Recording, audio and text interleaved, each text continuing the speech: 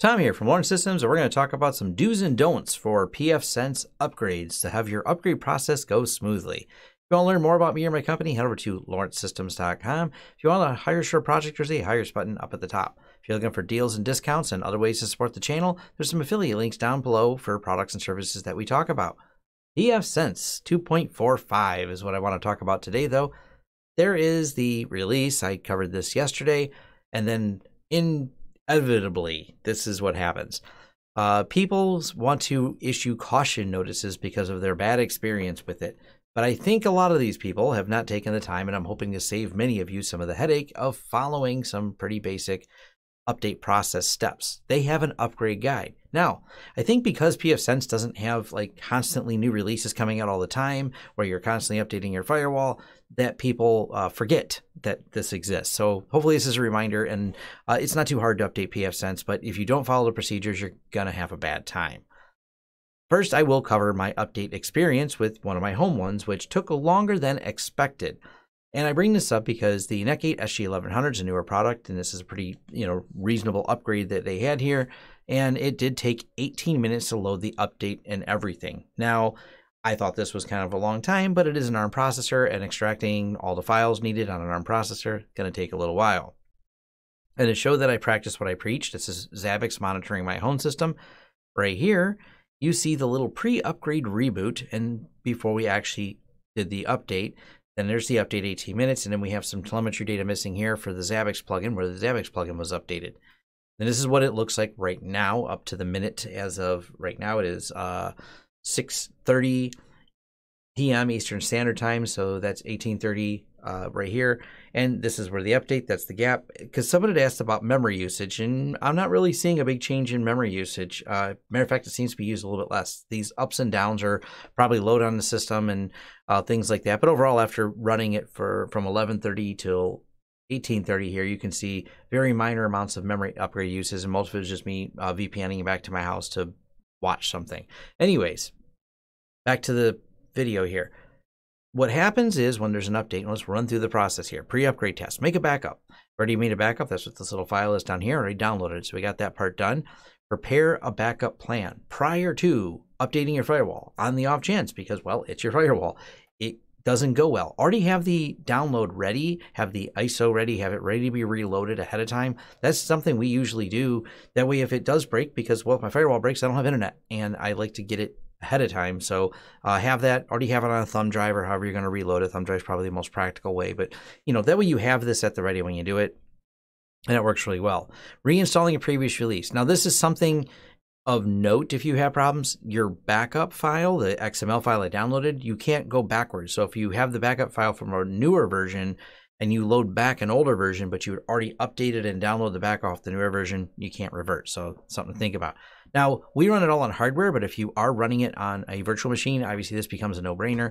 We are running my lab though, inside of here. So I have these two snapshots. And what these snapshots are is uh, ones before and after the upgrade. That way I don't have to wait for the upgrade to go again, but it upgraded perfectly fine in our lab. Snapshots in a VM, obviously one of the easiest ways to do this. If, if you are running it that way, definitely some advantage you have. Just click the snapshot and revert to snapshot. The pre-upgrade reboot, this is a really important step. They say it's optional, but I don't think it is for our processes. And one of the reasons why is these firewalls have long uptimes between upgrades.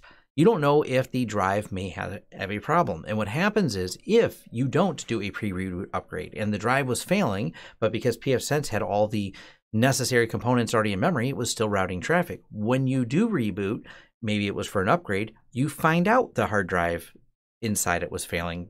And now you've now conflated two separate problems. You're thinking the upgrade was the problem, but it wasn't. You already had a failed hard drive. It was like you're dead and you didn't know it. and this is one of those easy ways you can test. Just reboot the firewall. If it comes back up running, great. Now you know that your hardware is good. Now you can load the upgrade. Because, uh, like I said, if a hard drive fails and it pulls all that data into memory and it's not doing many writes, so anything you may have is some logging errors and the system will just keep on running because it just can't write to the hard drive anymore. So keep that in mind at real preview upgrade. They say optional, I say not optional, but yeah, that's my opinion. They have this is their opinion. These are the people that write the software. Performing the update in packages. This is the one where people are having this little update caution problem. it says it pretty clearly. Do not update packages before upgrading pfSense. Just read that first line and stop.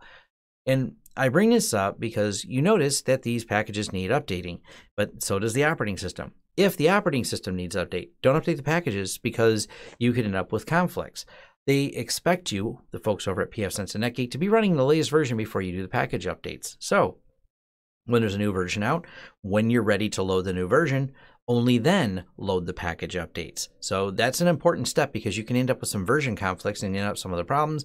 And that's what this entire discussion and this forum was. And I believe this happens almost every update when uh, people start updating packages prior, thinking, hey, want to get this package update stuff out of the way before I load the whole thing. You're doing it in reverse per the instructions from Netgate. So pretty important step right there.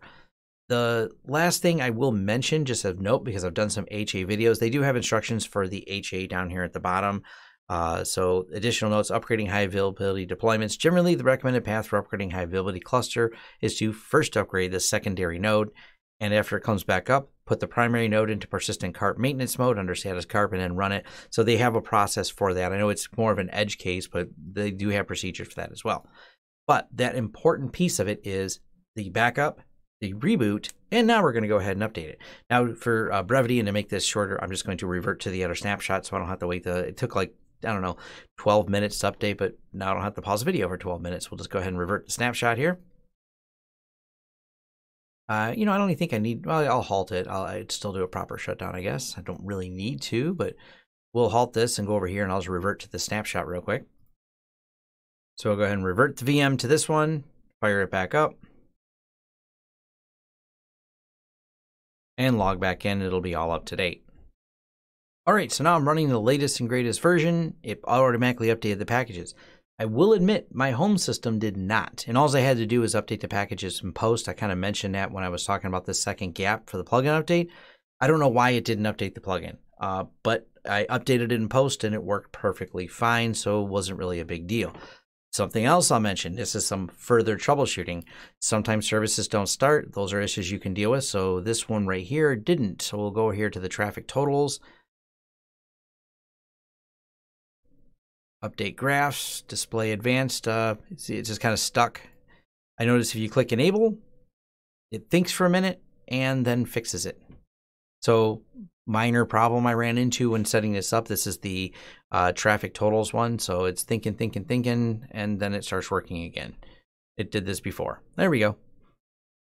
So that did happen from the update. So there are some things like that. Now, finally, one of the other ways you can deal with this when there's a few things that get goofed up and maybe the upgrade didn't go right. And I've run into this problem. One, you can just reload the firewall. I have the version, I have the a backup file. I have the one beforehand, and now I can even make another one afterwards, and we'll go ahead and do that. So this is the backup that's going to be uh, after the upgrade. So let me open the folder and rename it. So this is the before upgrade, and this is the newest version. So if we look in this config file, it's going to be the latest version.